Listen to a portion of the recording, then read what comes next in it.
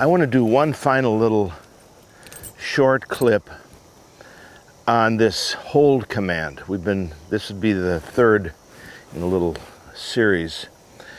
Um, and this is maybe the most important.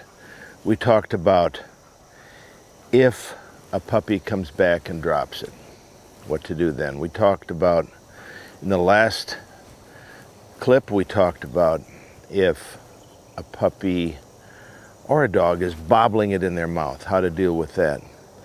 Well, this would be the last few thoughts that I have about the hold command.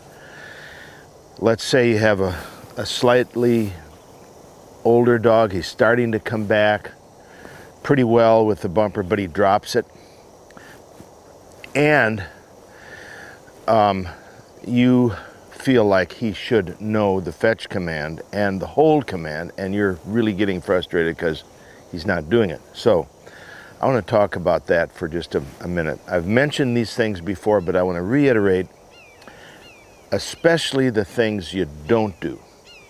What I see over and over again, and I've seen it for many, many years, dog comes back, he drops a bumper. The infuriated handler reaches down, gets the bumper, jams it in their mouth or the bird, and starts banging on the bottom of their jaw, hollering, hold, hold, hold, almost sometimes at the top of their voice. Their faces turn red, the veins come out of all their, their arms and their neck. And it's a, um, if it wasn't so ridiculous, it'd be comical. But nonetheless, I'm telling you, and everybody has seen it. I'd like to present a slightly different way to look at it.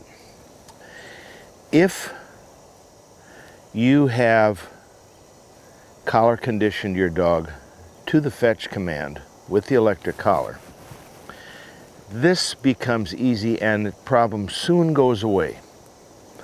So let's say the dog fetch is like this and he drops the bird. Um, good, at a boy. Sit. But I'm to do that in slow motion. And this is what I would recommend. The, the bird is dropped. Instead of going over, picking it up and jamming it in the dog's mouth, you just be calm. You have your electric collar. You say, fetch. Good.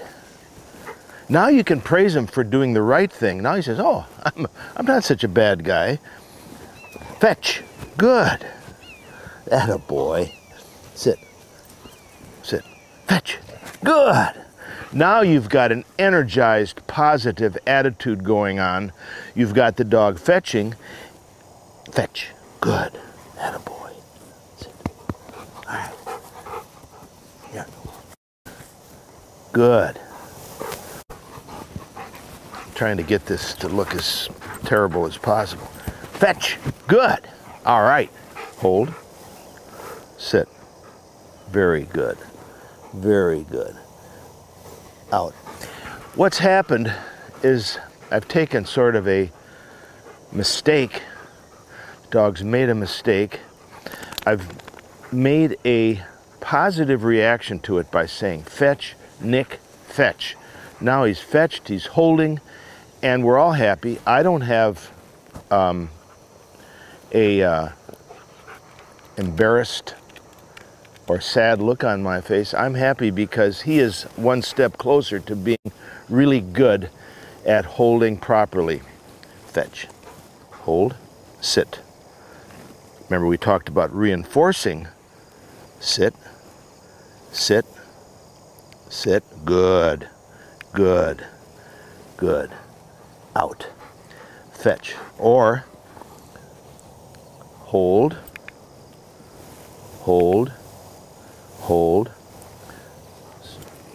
And we've talked about now how to fetch.